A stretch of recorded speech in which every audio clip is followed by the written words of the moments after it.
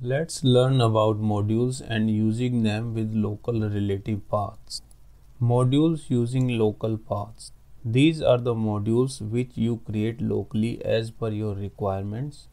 To define a module, create a new directory for it and place one or more related .tf files inside just as you would do for a root module. Terraform can load modules from local relative paths when they are called by child modules. Now let us create a root module by creating a directory which includes all the related files like input variables.tf, all required resources in main.tf file and to export relevant useful attributes information in an output.tf file. Now our root module is created. Now we can call the root module through child module by creating a module block in the configuration files of child module and mentioning the only mandatory source field with the argument as local relative path of root module directory. This is the way how the modules work. In this way we can reuse the root module code at multiple places. So here I have created a root module in which it contains all the related configuration files and now I am calling this root module from this child module by defining the module block with the mandatory or required field source which contains the information as relative local path of the root module. Now let us redesign our lab using modules concept. Let us rethink by watching this layout where we can reduce the code duplication and implement modules. Redesign our lab using modules. I have enclosed the repeatedly deployed resources that we deployed twice in our lab by yellow round shape rectangle in Jumpbox resource group and a corner snipped yellow rectangle in backend resource group. So these three resources have been duplicated in our code and we have duplicated in Jumpbox resource group and in backend resource group. So these can be modularized. So now let us create a root module for those resources and then re-implement the lab by calling the root modules through child module. Steps of root module design. Now based on our scenario, let us design a root module. We need a network interface, a NSG and a virtual machine to be deployed by root module. To deploy all these resources, we need to know the resource group name, location, network interface name, NSG name, VM name, subnet ID and admin password. We can generalize it more as by creating more input variables like VM image reference, VM size, admin username, managed disk and other variables. You can do it as an exercise in your lab by using them additional input variables. For now, let us continue designing the root module. As an output variable point of view, I think we need network interface private IP address for NAT and NSG rules. Another required output will be VM ID which will be required to deploy web server extension on the VM and the NSG name. So in this case we can export the attributes of resources as per our requirements.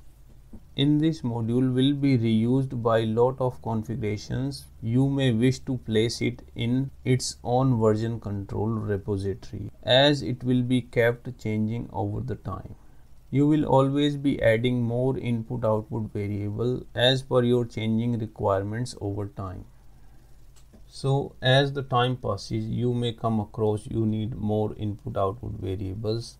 so you can control with all the changes by implementing version controls on the root modules. Let us create the root module and using that module to redeploy our lab. Here I am in VS Code continuing with our previous lab where we configured input output variables and passed the values using interpolation. I will copy the code in a separate directory and continue from there by modifying the code and redesigning as a root module. Then I will create a new directory for root module and will start creating a root module from scratch. As per our design, I am going to deploy a network interface, a NSG and a virtual machine by root module.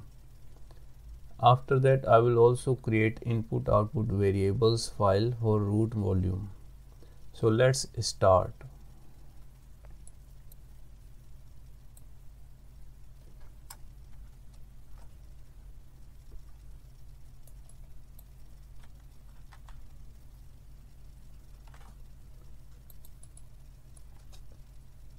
So now I have copied the code from lab 5 to lab 6.3 also created a, another directory for module which I have named as compute. So my module name will be compute and I will be creating a root module here and then I will modify my existing code to use this root module. So let's start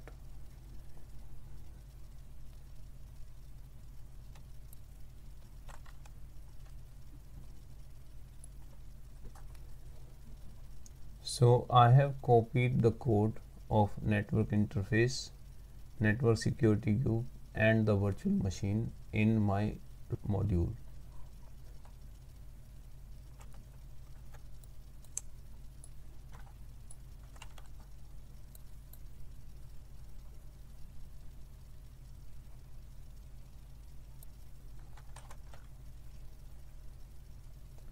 so let me create an input variables file now.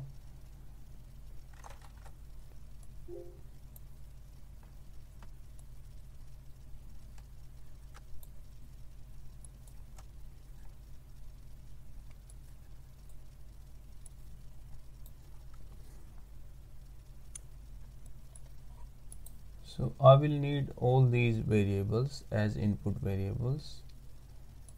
And VM NIC an NSG name can be derived from the VM name. So I'm using only these variables.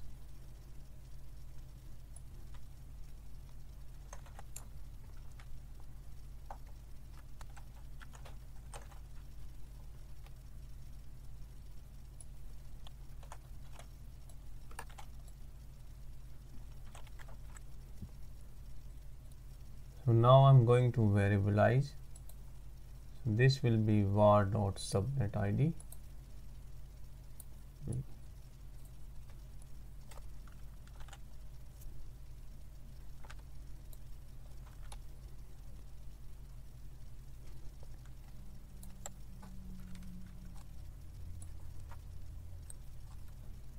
So network interface will be this network interface so our input variables file is also created successfully and the main.tf is also created in the root module. Let's export the values by creating the output.tf file. So as per design I have to export these values as an output variable. So let's export these values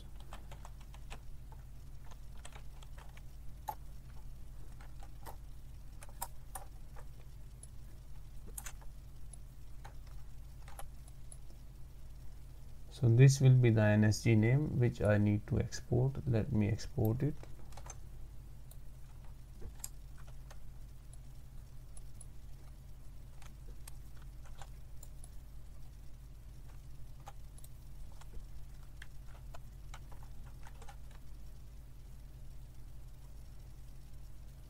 So this is the way how you can export the ID and private IP address so it's all good. I have exported all these values. Let me comment this thing. So here the root module is created with all these resources in it. That will be the output export from the module. And these are the variables which is required to call these modules and pass these values. Let me save and now modify my backend and jumpbox code to use this module.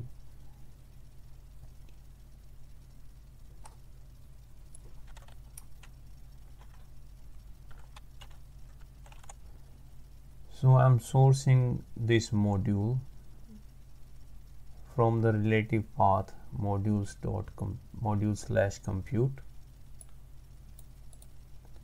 and I will need to pass these input variables to call this module. So I'll be using these variables. So that will be jumpbox VM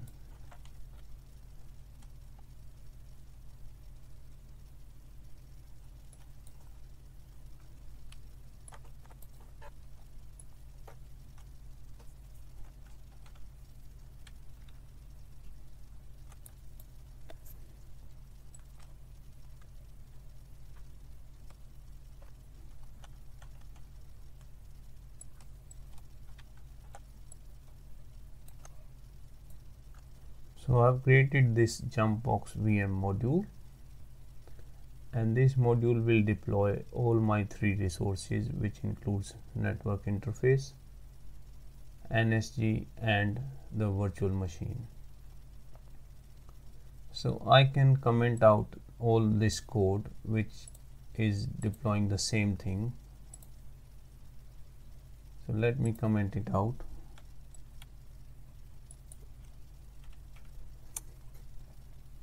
so I'm going to repeat the same thing with backend Terraform configuration file. So let's do that.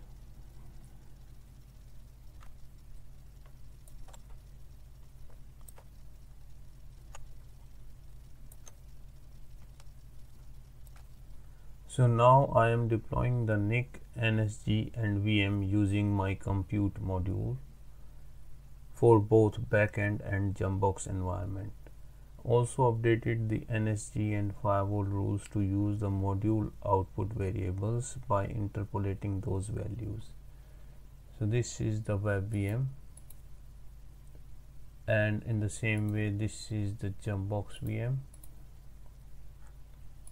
and I'm using the interpolated values for my NSG rules so this is the interpolated value. And for the NSG association with NIC I'm using this interpolated values. Here I'm using the interpolated value for the VM extension. So this is for backend and that's for Jumpbox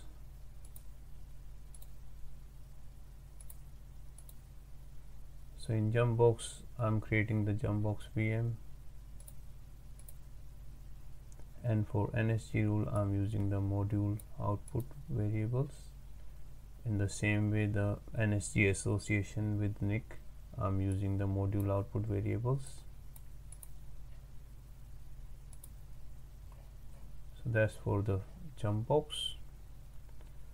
For front end there is nothing to interpolate as all the resources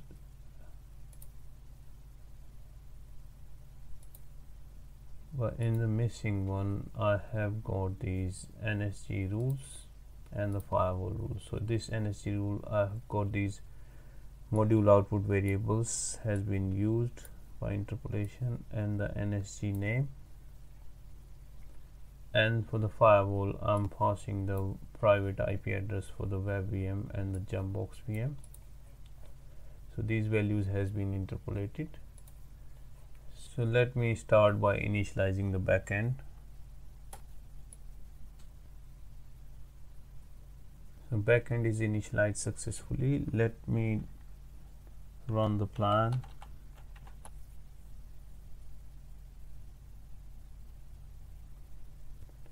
So it's going to deploy 25 resources. Let me apply the config. I'm happy with the plan.